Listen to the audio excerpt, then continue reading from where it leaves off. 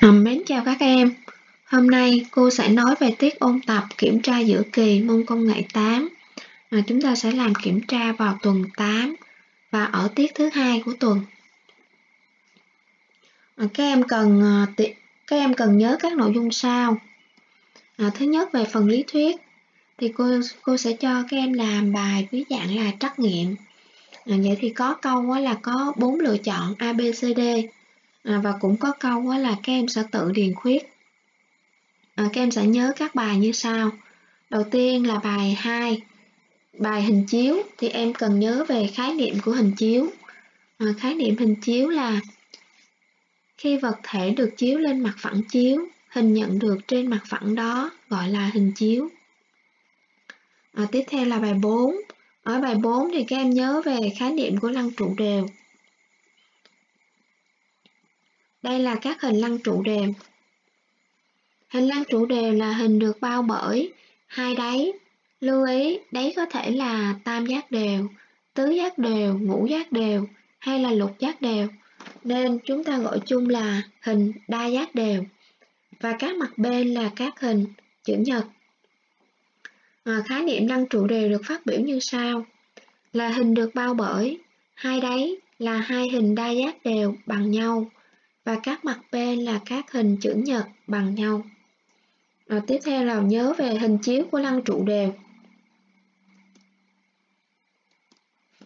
Hình chiếu của lăng trụ đều, à, đấy là hình tam giác đều. À, với hình chiếu đứng có hướng chiếu từ trước tới, em sẽ thấy được hình dạng là hình chữ nhật. Hình chiếu bằng, nhìn từ trên xuống, chúng ta sẽ thấy được cái đáy. Đấy là tam giác đều. Hình chiếu cận nhìn từ trái sang thì em sẽ thấy có hình dạng là hình hình chữ nhật.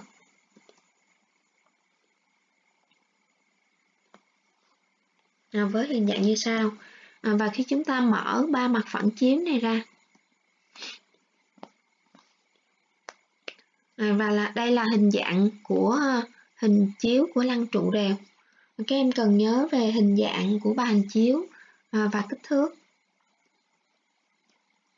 Nội dung tiếp theo, câu tiếp theo ở bài 8 thì lớp nhớ về à, khái niệm bản vẽ kỹ thuật à, là tài liệu trình bày các thông tin kỹ thuật của sản phẩm dưới dạng các hình vẽ và các ký hiệu theo quy tắc thống nhất và thường vẽ theo tỷ lệ.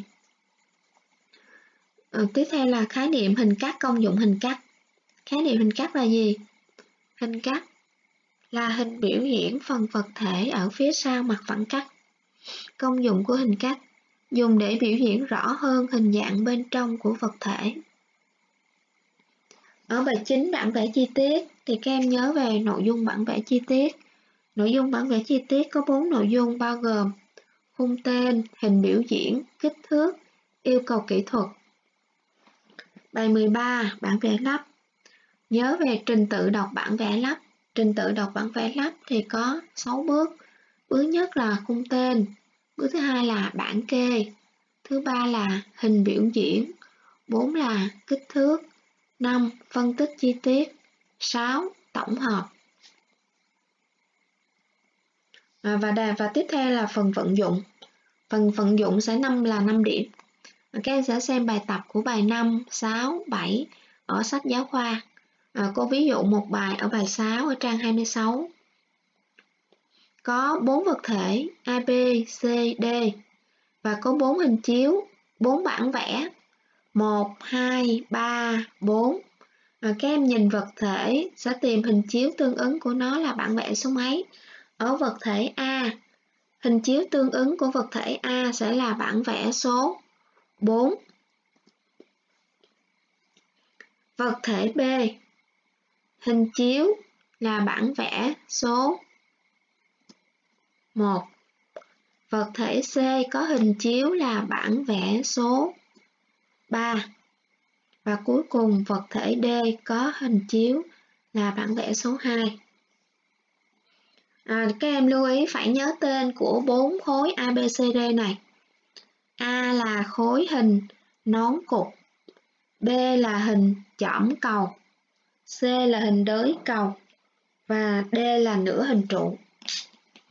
À, còn đối với bài 5 bài này cô đã sửa rồi. Ở sách giáo khoa trang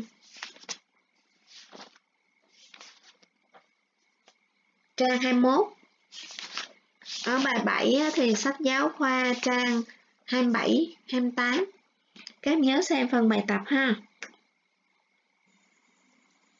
À, đây là tất cả các nội dung của phần ôn tập kiểm tra giữa học kỳ 1 À, bao gồm lý thuyết à, 5 điểm à, và phần vận dụng là 5 điểm. Phần vận dụng thì các em nhớ xem bài tập của bài 5, 6, 7 và bài ôn tập ở trang 53, 54, 55 ở bài ở phần sách giáo khoa. Chúc các em làm bài đạt điểm cao. Mến chào các em.